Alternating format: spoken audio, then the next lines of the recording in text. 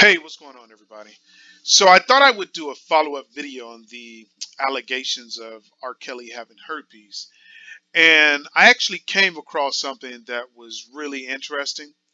So this video won't have anything to do, or at least it won't directly relate to R. Kelly's herpes claims. But in a, in a way, it's it's indirectly related. And I'll explain why uh, a little bit later.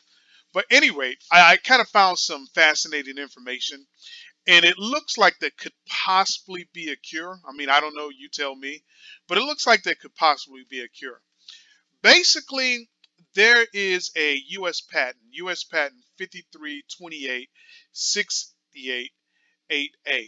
right? And basically, this is a patent for the herpes virus. Now, let me tell you up front, I'm not really the guy to basically try to explain this patent here because, as you know, I'm not a lawyer and I'm darn sure not a microbiologist or a uh, gene specialist, right? You know, so hopefully somebody like that is watching and they can kind of give us a breakdown on this U.S. patent and explain everything uh, to us. But since we don't have a microbiologist right now, you have me. I'm going to do my best to basically explain this to you and basically tell you what I think it means. Now, I will tell you that I have read a lot of this information. I haven't read it all, but I've read a lot of it. And I think we can pretty much just read the abstract, right?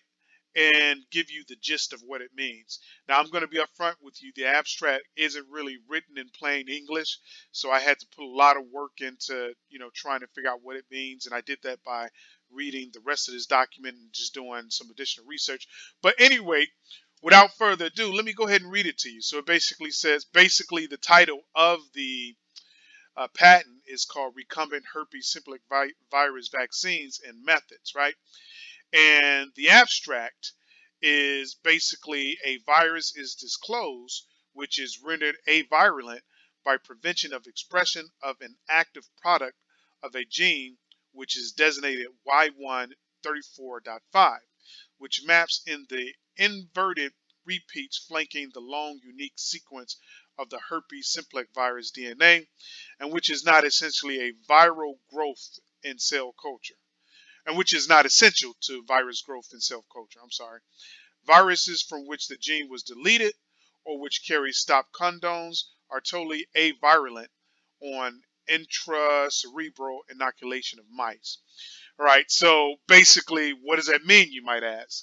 Basically, what they're doing is that they're taking the herpes virus and then they're targeting a specific gene, which is Y1 34.5. And they're basically deleting it, right? This gene is basically the gene that is responsible for the herpes outbreaks. At least that's what I deduce, right? So if you don't have this gene, then the herpes virus is not going to produce outbreaks. So what they're doing, and the other thing about this gene is that even if you remove this gene or when you remove this gene, the herpes virus can continue to grow and do its thing uh, without the outbreaks, right? You know, so long story though, to me, the way I read this and from the research I've done, they're deleting the gene Y134.5 in the herpes virus, and this deletion of the gene causes the herpes virus to basically be avirulent, which basically means to be sterile, right? And basically, they tested this in the cerebral fluid of mice. At least that's what I interpret it to be. So if you're a microbiologist, definitely leave your comments below and break this down for us and basically explain it. This is my explanation of it. Basically, they, they are taking a virus, they're deleting the gene in the virus, and this deletion basically makes the herpes virus sterile and it basically does no damage, right? So with this said, to me, this is basically a cure, and I wonder how long before it actually reaches the market. Hopefully, it'll reach the market and some drug company won't buy it up and then make some perverted version of this vaccine so that they can make money off you and just you know keep you for forever dependent on their drugs. Hopefully that doesn't happen. I believe stuff like that happens a lot of time, right? But basically, from reading this, I think this is an actual cure for herpes, uh, an actual, and by cure I mean vaccine, right? So the question is, how did we get here? We got here because I was doing research on the R. Kelly's herpes allegation, and I came across this case, which basically led me to the patent, which we just reviewed. Now, this case is an appeals court case in Chicago, of all places, and it's basically a case where the plaintiff's name is Joanne Chou, or Dr. Chou, if you will, and the defendant is Bernard Roizman, right, or Dr. Roizman. And there's other defendants like the University of Chicago and the Aviron Company, but they're only defendants through Bernard Roizman. So I'm really just going to focus on Bernard Roizman to keep this plain and simple, right? So basically, the crux of this case is that Dr. Chou or Joanne Chou basically goes to the Illinois Appellate Court because her case was basically thrown out in the lower court.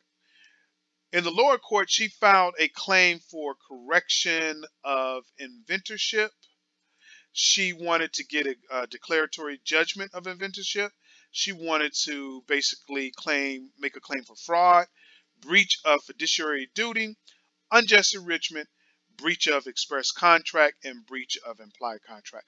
Now, we're not going to go through all those issues uh, in detail. We're really just going to sum all this up and just keep it moving, right?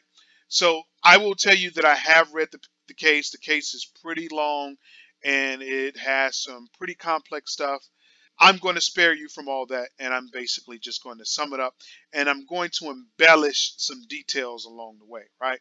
So basically, long story dull, Dr. Chou was basically working under Dr. Roizman at the University of Chicago, and at that time, she discovered that she can deactivate the herpes virus and basically, you've I've already explained how she accomplished this in the actual patent. So what she does, she goes to Dr. Roizman and says, "Hey, you know, I've just made an amazing discovery. I think we need to go to the patent office and file this." Dr. Roizman refuses to file it because he basically tells her that it's not really worth filing. I'm embellishing. And at the same time, Dr. Roizman takes her research and then goes and files his own patent at the U.S. Patent Office. In addition, he filed several other patents. He filed 570, 795, 713. He filed 5 922, 328. In addition to filing her patent 5 328, 688. And then he also actually filed several foreign uh, applications for patents, which I'm not even going to mention here because it's just too confusing to read. But he filed several other foreign patents, right? So she got pissed and she basically went and filed a, a claim against him, University of Chicago, and the company he started. Now, under University of Chicago's policy, inventors receive a 25% gross royalties and upfront payments from licensing of patents, as well as a 25% of the stock of any new companies that's created as a result of the inventions. So, needless to say, she's pissed because Dr. Roizman is trying to basically defraud her out of her earnings or what she feels she's entitled to. The case ends in appellate court in her favor. Dr. Roizman was kind of a a, a hustler. You know, he basically defrauded her. There's even a statement where Chou and him had spoke. Roizman specifically told her that he would take care to properly protect her research, inventions, and co-invention, which basically means he was going to make sure that she got number one her recognition, and then number two the royalties and the payments which were basically due to her all in all, I think this is this case more likely ended in uh, Dr. Chou's favor. From reading the case, it seems like Dr. Roizman intentionally attempted to defraud Dr. Chou out of her 25% gross royalties as well as her 25% uh, stock in the companies created from the patents, as well as her reputation because she would be known as the person who basically uh, provided the vaccine or the cure for the herpes virus. Let me know what you think. Leave your questions, comments below.